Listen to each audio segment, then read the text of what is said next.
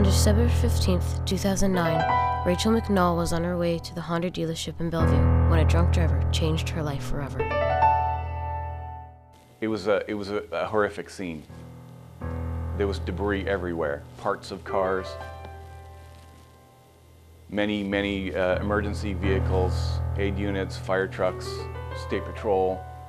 You know, I could see the, the car that came across was still up in the median, uh, facing the freeway, so like looking right at the fast lane. And the car that got hit was now, that was going e westbound, was now facing eastbound, completely destroyed. When I arrived at the scene, I observed two cars that were just demolished. And I remember looking at the cars thinking there's no way that anybody survived this crash. Rachel's car was heading westbound on I 90 towards Bellevue. Another driver, who was under the influence of drugs and alcohol, was headed eastbound towards North Bend. Both vehicles were traveling at 70 miles per hour. The impaired driver crossed the median and struck Rachel's car head on. So my name is Rachel McNaul. I am a former graduate of Mount Si High School. I graduated in 2003. I needed to go to Bellevue. My car smelled a little funny, so I wanted to go get it fixed. Little did I know that someone else was gonna fix my car in another way that day. And I don't remember the day of the accident or two weeks after that. Um, I'm really thankful I don't remember the actual accident because I couldn't imagine what it would be like to hear the noise, see a car coming directly at you. You have no control over what you're supposed to do. And hitting you, spinning your car around on the freeway at 70 miles an hour, it's kind of intense to even think about that, but I couldn't imagine actually living that. Obviously, I did live it, but I'm so thankful that I don't remember. When I got there, I saw cars all over the place, debris all over the place. It was, uh, you know, dust was still falling from the sky. I was called and told to respond to a two-car head-on collision on I-90 in the area of Preston. If I was getting called to a collision, that meant it was a bad one. The only ones I responded to were the worst of the worst crashes, and typically it's because somebody was driving recklessly or driving under the influence of alcohol or drugs. You see the smoke and the debris moving around.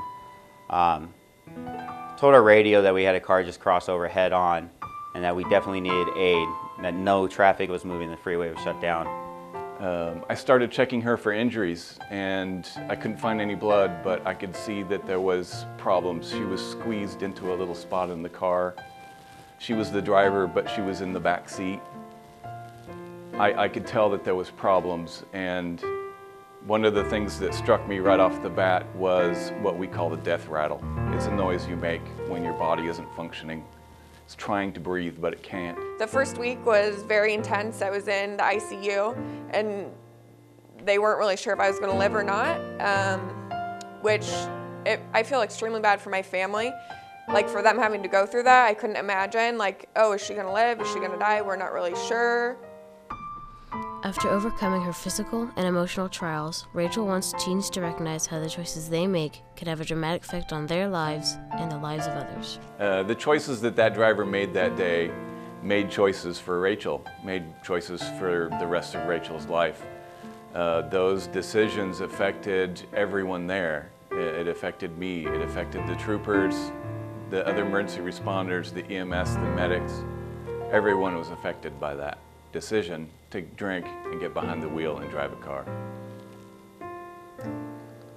The best message that I can give from my experience as a state trooper is that the decisions that we make affect other people. That we have the ability to make good choices or bad choices.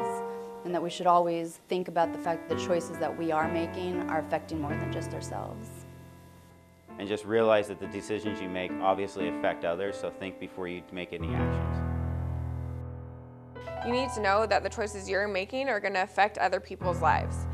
I really am a firm believer in everything happens for a reason, and I'm still here for a reason, and that is to share my message with you. Make sure you're making responsible decisions. There's other people's lives at stake.